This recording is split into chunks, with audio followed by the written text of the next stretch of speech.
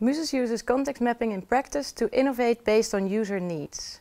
Um, we uh, prepare participants by means of sensitizing assignments, which are um, actually just like the assignments that you did with your participant uh, last week. And after this sensitizing uh, period, which is about a week, we bring more than one participant together in a session.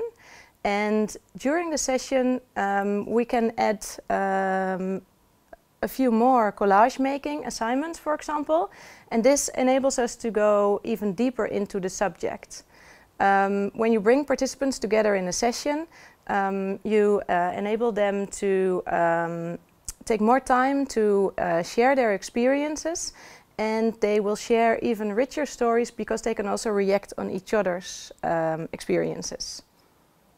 MUZUS collaborates with companies um, by conducting uh, design research, mostly by means of context mapping research. And after this uh, design uh, research uh, phase, we uh, help our clients to innovate based on user needs. When MUZUS collaborates with companies, we aim to bridge the gap between um, our client's organization and the context of the user uh, or their consumers.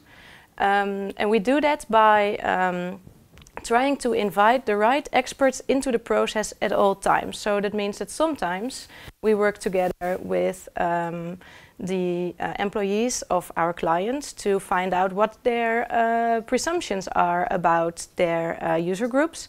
And sometimes we invite the users to tell about their daily life and to give um, our clients insight into the daily life of their, uh, their clients. During the process, we try to uh, tie together these two worlds by organizing um, workshops, sessions, and create design tools that help um, the employees of the client's organization to keep the user in mind while they work or innovate or um, develop new uh, products or services. So the main thing to remember, uh, the tip is um, you are a designer and not just a researcher.